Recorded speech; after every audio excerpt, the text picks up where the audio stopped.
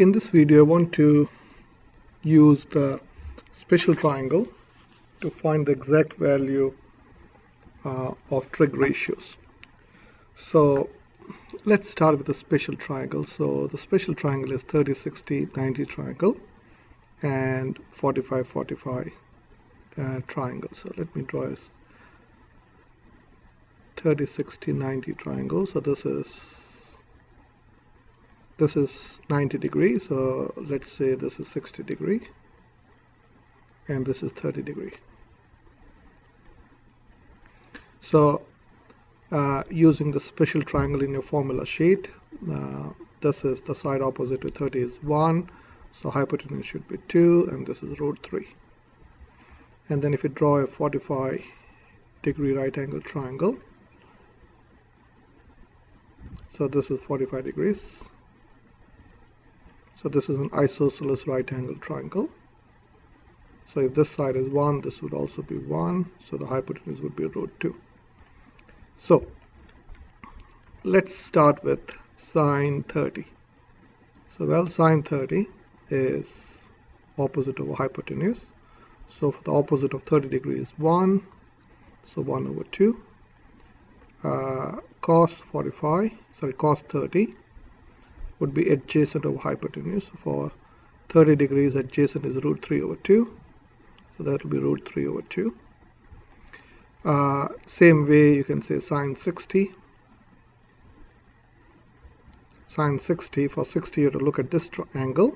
So opposite over hypotenuse which is root 3 over 2 and so uh, cos 60 is 1 over 2 so for by just looking at this you can see you can see that sine 30 sine 30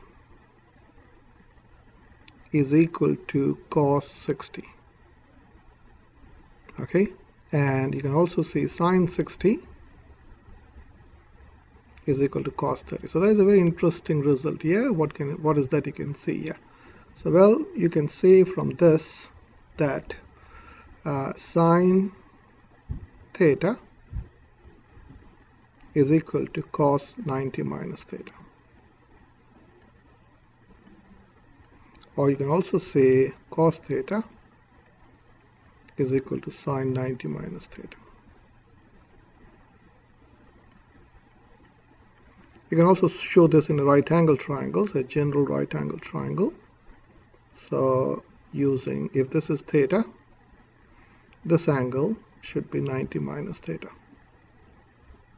So say if this is adjacent which is x hypotenuse is y and sorry opposite is y and hypotenuse is r I can say uh, I can say uh, sine theta.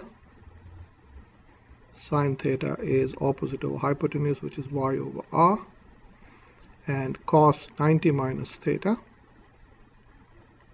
is also y over r. So you can say sine theta is equal to sine theta is equal to cos 90 minus theta. Okay, I want to do something else here. So if you draw a, a unit circle, so let me drag this slightly up. So let's draw a unit circle.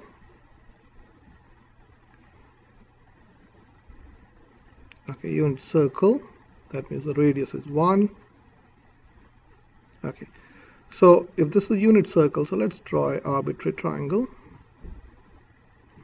So this is radius is 1 and let's take an arbitrary point P. So this is 0 so this is uh, this distance is x and this distance is y. So the coordinate you can understand is x comma y now using SOHCAHTOA, okay, so let's say this angle is theta. So using this angle theta, cos theta is opposite over hypotenuse. So let me write it here. So in this triangle, cos theta is adjacent over hypotenuse.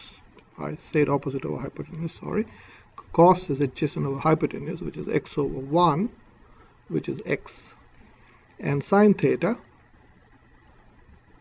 sine theta is opposite of hypotenuse and hypotenuse is 1 so that is y.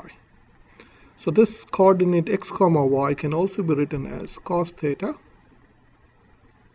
comma sine theta. So you can say in place of x you can write sine theta and in place of y you can write sine theta. Okay so I'm going to draw. Let's go in this is the first quadrant. So if you go in the fourth quadrant so let's draw a line like this. So this angle if this angle is going to be theta if you go upwards it's theta this angle is going to be minus theta. So we can say now this coordinate the coordinate of this point say this is uh, P. So let's say this is Q. The coordinate of this would be X comma so if this is Y so let me draw like this so that I'll so if this is y so let me use a different color. So if this is y this you can understand is negative y. So this coordinate is x comma negative y. Okay now in terms of this angle you can also say this is cos of minus theta comma sine of minus theta. Okay now if you look at the coordinate okay so that means cos of minus theta is equal to x. And now what is x? x is cos theta. So you can say this is same as saying cos theta comma and this is minus y so it is minus sine theta. So we have proved a very interesting result which is very useful. So what have we proved? We have said well cos of theta or cos of minus theta let me write it like this cos of minus theta is same as cos theta. So if you want to explain this in example so example will be cos of minus 30 degrees or minus 30 is same as cos 30 you can also explain this in words. Cos is positive in the first and the fourth quadrant because it is corresponding to x. So minus theta is in the fourth quadrant. Uh, sorry I should have done I should have done like this. This is minus so this is 30 and cos 30 I hope you know is root 3 over 2 so let me show you this on a calculator. So if you go let me change this into degrees first. Okay so if you go cos 30 is root 3 over 2 which is 0.866 and if you go cos of minus 30 that should give you the same answer and minus 30 is same as cos 330 so that's same as cos 330 that's also this. Okay and same way you, from this we have proved that sine of minus theta sine of minus theta is equal to minus sine theta. Okay so this is so you can take an example cos sorry sine we are focusing on sine.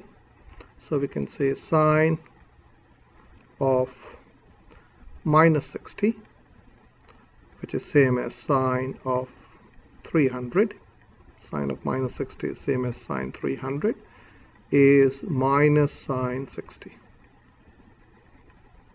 okay so sine 60 would be root 3 over 2 so let's show that. Sine of 300 would be minus 0.866 okay and uh, sine of minus 60 is also minus 0.866 okay so now if you take this is the fourth quadrant so this is this is the first quadrant this is the first quadrant this is the fourth quadrant. Okay so what can you talk say in the second quadrant? So this is the second quadrant and this is the third quadrant. Same way using okay so let me use white color. So this this coordinate this is going to be minus x and this is going to be so the coordinate of this point so let's say this is s or pqr this coordinate would be minus x comma y. So using this result so that is same as minus cos theta comma sine theta. And if you use this angle this angle is going to be theta. Okay so if this is going to be theta this is theta. So this angle is going to be 180 minus theta. I hope you can see what I'm doing. So this angle is theta. So if you go from this axis the positive arm of the x-axis so this whole is one this half a turn is 180 and this is theta. So this angle let me use a different color. This I'm talking about this angle. This angle let me use red color. So this angle. This angle is going to be 180 minus theta. So this point can also be referred as cos cos 180 minus theta comma sine 180 minus theta. So now we have proved a new result that I'll write the result here. We can say cos 180 minus theta is equal to minus cos theta. And we can say sine 180 minus theta sine 180 minus theta is equal to sine theta. So you can pick any value for theta. So let's say let's say theta uh, let me okay let me do it here. So if, if say theta is 10 so let's say theta is 10 this means cos 180 minus 10 is cos 170 is same as minus cos of 10 okay and sine 170 should be equal to sine of 10 oh I have written 180 here so this should be theta. Again cos 180 minus theta is equal to minus cos theta. Because uh, minus x corresponds to minus cos theta because x corresponds to cos theta and y corresponds to sine theta. So this point has also made a turn of 180 minus theta degrees so that point can also be referred as 1 cos 180 minus theta comma sine 180 minus theta. So let me uh, let me show this on you can take pick any value for theta and check this yourself. So let me show this on a calculator. So uh, okay hopefully yeah this is good. So if we go let me cancel this cos 170 equal this and if you go minus no I want to delete this minus cos 10 should give you the same answer. Okay? And then you can also go sine so this is 10 I made sine 170 is equal to sine 10 sine 170 is 0.1736 and sine 10 should be the same value. Okay? So let me put one more example. So if theta if theta is 20 degrees I can say cos 180 minus 20 is cos 160 is same as minus cos of 20 and sine 160 is equal to sine of 20 so let me show you that again. So if you go let me show you sine 160 sine 160 equal and and if you go sine of 20 that should be the same value 0.34 okay and finally or if you want to show this as an equation cos of 160 plus cos of 20 should be 0 so let's do that way. Cos of 160